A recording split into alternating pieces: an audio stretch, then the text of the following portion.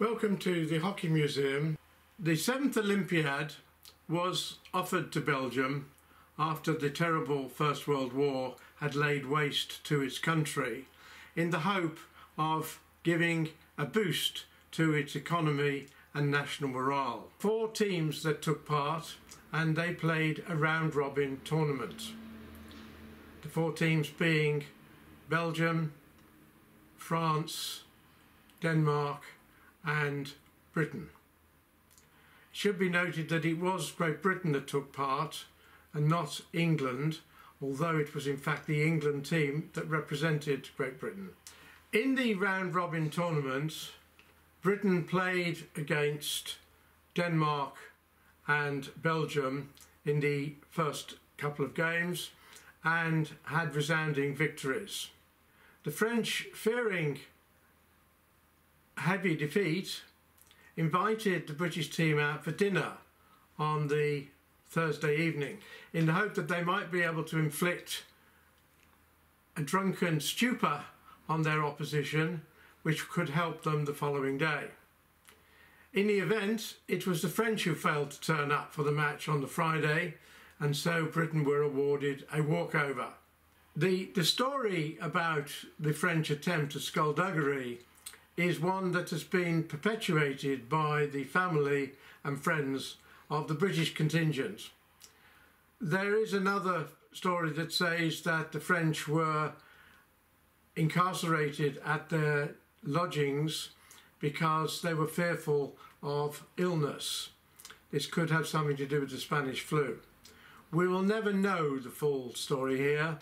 Although we've seen a number of Olympic medals over the years, and indeed we have a 1908 gold medal in our collection here at the Hockey Museum.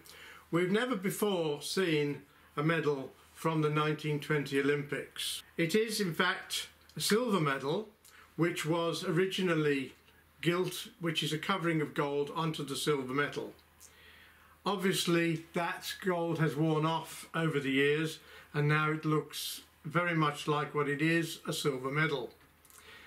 The illustrations on the medal are of an Olympic athlete, fairly typical scene, with a naked gentleman bearing a laurel leaf uh, wreath and the seventh Olympiad wording on it.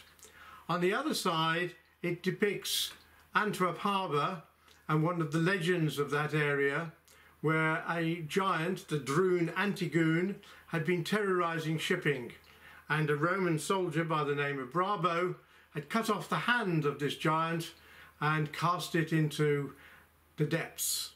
So on the 5th of September, the family, a group of 10, suitably and socially distanced into two groups, came to visit us. It was particularly fortuitous that this family representation should be of Harry Haslam, the goalkeeper because being the goalkeeper, he would have been listed as the first player on the team list.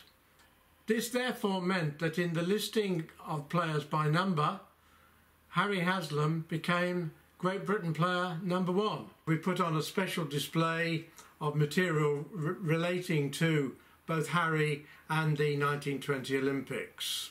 As part of a soft launch of our GB statistics project, we arranged for a cap to be presented to the family in honour of Harry, which also recorded his GB record, which was just the two games that he played in in Antwerp in 1920. This cap was presented to Richard Ottaway, the great-great-grandson of Harry, by Simon Mason, very appropriately a three times Olympic goalkeeper. The formal launch of our Great Britain Statistics project will take place in May next year, 2021, with the two teams that are, will be going to the Tokyo Olympics being presented with their caps on that occasion. The GB Stats programme will give us not only the player numbers, but also the full histories of all the GB players, full listing of all the games and match numbers, together with lots of other information for head-to-heads. It is an amazing piece of work. We also intend to make GB caps available to all past GB players.